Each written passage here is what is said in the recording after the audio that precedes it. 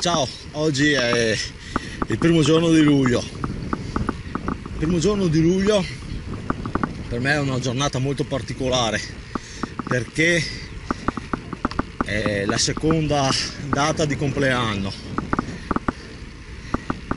30 anni fa, primo giugno, scusate, primo luglio del 1987, ho imboccato una strada non per colpa mia, come quella che sto percorrendo oggi. Non so dove mi porterà e il perché ve lo spiego dopo. Intanto voglio pedalare tranquillo e godermi questa giornata molto particolare.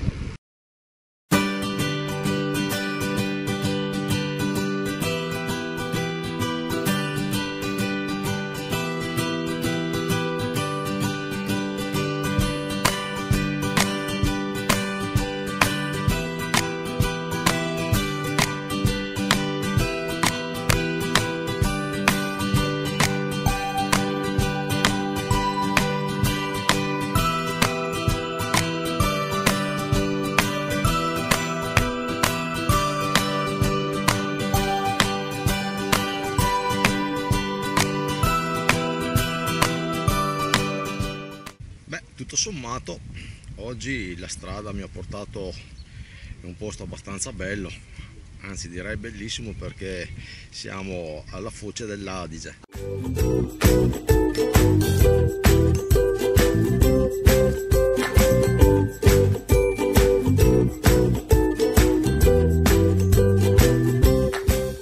Ora da qua eh, devo fare tutta la strada in senso contrario e per poi andare penso verso Albarella.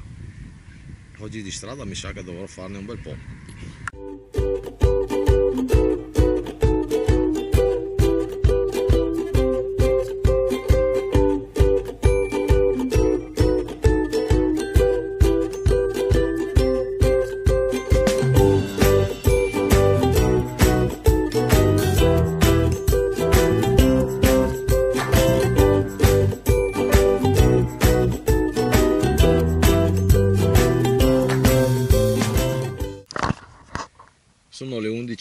11.37 di 30 anni dopo l'incidente. Ecco quello che è accaduto 30 anni fa il primo luglio del 1987 cosa è successo? un camion non mi ha dato la precedenza e mi ha preso in pieno. Ho fatto un volo tremendo. Sono volato sopra il camion assieme alla mia moto all'altezza del poggiolo di una palazzina che c'era lì, all'altezza del poggiolo del primo piano per la precisione. Ho attraversato volando la strada per un volo di 25 metri, ho battuto contro un muro di sassi e il muro mi ha ribattuto contro un pallone della luce. Questa è la storia del primo luglio del 1987 a quest'ora ero veramente nelle mani di Dio. E dopo 30 anni non so ancora come sia stato possibile essere ancora al mondo essere ancora qua. Quando altra gente per molto molto meno di quello che è capitato a me eh, ci ha lasciato la vita. Mi vengono in mente un po' gli istanti di 30 anni fa. E devo la vita a tante persone a tante buone persone che mi hanno soccorso e hanno fatto in modo di bloccare tutte le emorragie che mi uscivano da, dalle gambe. Io sinceramente non ricordo assolutamente niente, niente assolutamente, neanche un, un frame, niente. Quell'incidente mi è costato un anno d'ospedale. E proprio non, non avrei mai immaginato 30 anni fa, ridotto come ero ridotto, che oggi sarei stato qua in sella alla mia bicicletta da corsa. E con 40 km già sulle spalle. E non so quanti ne avrò, minimo ne avrò un'altra ventina prima di tornare alla macchina. E mi sto anche divertendo. La strada comunque è stata lunga, non è stata priva di altri inconvenienti perché comunque la vita non ti risparmia niente neanche se sei, sei già stato provato tantissimo. Però quel che conta è che oggi io sono qua. Già sono passati 30 anni non ci avrei scommesso neanche 100 lire perché allora c'erano ancora le lire. Proprio non ce l'avrei non ce l'avrei scommessa. Ma sono contento così. E adesso una botta di vita e proseguo il mio giro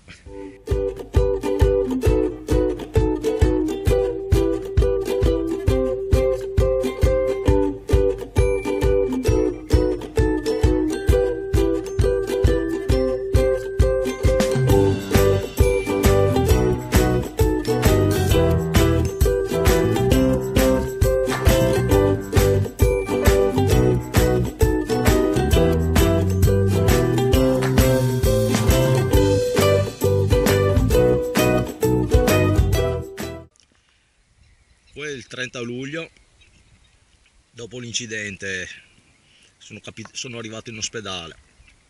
Lì, eh, in un attimo di lucidità che ho avuto, di proprio veramente qualche istante, quello che credo fosse il dottor Iucupilla mi diede la notizia che avrebbe dovuto amputarmi la gamba destra e quello che io non sapevo era che anche la sinistra era sull'orlo dell'amputazione, ma il dottore mi ha assicurato che comunque sarebbe riuscito a salvarmi la gamba e così è stato. La gamba sinistra ci ha messo un anno a guarire, però come vedete eh, mi supporta in tutto perché nonostante ogni tanto mi dia qualche disturbo oggi sono già 50 km che gli ho messo sopra e mi sta dando tutta la collaborazione possibile e immaginabile. Le ferite che ho riportato nell'incidente sono state l'amputazione quasi immediata praticamente ancora sul, durante l'impatto della mia gamba destra. La frattura esposta multipluriframmentaria della gamba sinistra ho avuto un bruttissimo trauma cranico facciale e cervicale più escoriazioni e botte in tutte le parti del corpo. Con la testa sono entrato nelle lamiere della cabina del camion per 12 cm e hanno trovato traccia di impatto sia sul muro che sul palone della luce in cemento. La mia fortuna è stata di avere un casco che ha tenuto diciamo la botta e anche una bella testa dura dato che il mio lavoro era, era, il mio lavoro era in carabiniere quindi la testa dura sicuramente mi ha aiutato tantissimo. Quando si ha un incidente stradale non è mai soltanto una persona a esserne vittima. La vittima è tutto un nucleo familiare, perché vittime con me sono state mio papà, mia mamma i miei due fratelli, mia nonna e, e tutta la parte della mia famiglia. Non, non sono stato solo io a, ad essere vittima. Nel mio caso specifico, quel giorno i protagonisti siamo stati in due, l'autista del tir ed io. Io ho avuto la peggio, ma anche lui con me è stato vittima.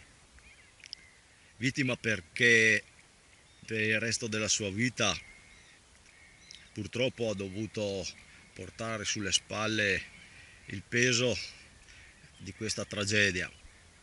Sicuramente quel giorno non si è alzato con la voglia di venire a vestire Anacleto.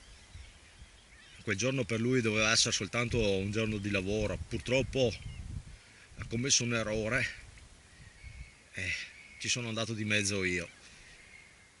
Ma comunque è andata bene così perché sono ancora vivo, sono passati 30 anni e alla fine mi sono divertito tantissimo, ho conosciuto tantissima gente in gamba che mi ha incoraggiato, mi ha aiutato e spero che anch'io in qualche modo possa aiutare ed, ed incoraggiare qualcuno che magari si trova in difficoltà.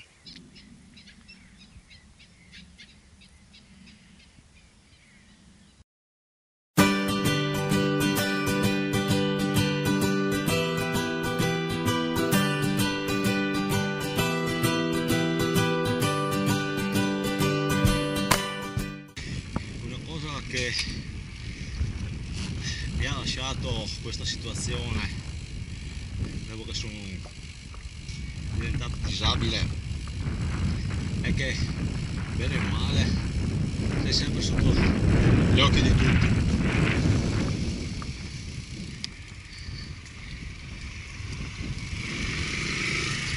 Quando vedo arrivare bicicletta con uno sopra le gambe, con una gamba sola che pedala, comunque sei guardato quando passi con le stampelle senza la protesi, comunque sei sempre sotto i riflettori. Eh, questa è una cosa alla quale faccio un po' fatica ad abituarmi nonostante siano passati 30 anni da, da quando sono stato amputato un po' con vento a favore, un po' con vento contrario, anche questo giro nei, nei dintorni di Rosolina Mare è arrivato alla fine. Eh, chiamiamolo pure il giro del trentesimo anniversario, va, dato che è primo luglio.